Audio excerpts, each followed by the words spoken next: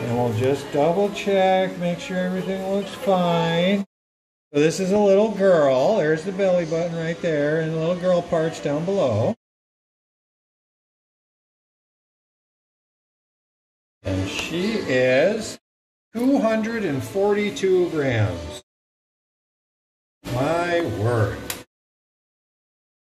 And luckily they're not squirming so much, so we can all leave them all in the bowl. And she is 256 grams. Now, keeping in mind that at eight days now, she's more than doubled her weight. Um, this little one was born at, I want to say, 122 grams. And then we have a little boy right here, presumably. We'll see.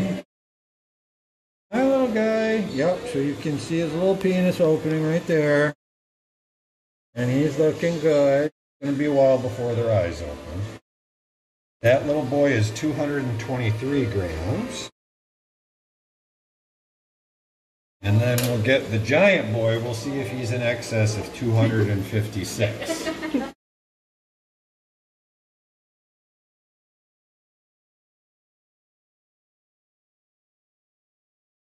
And there, yep, so there we have the other little boy.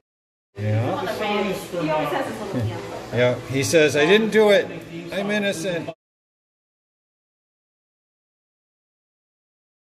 And he is 258. He still beats out his sister by two grams.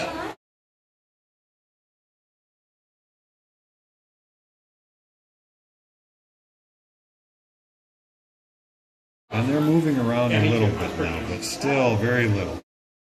And sometimes they'll start vocalizing for mom.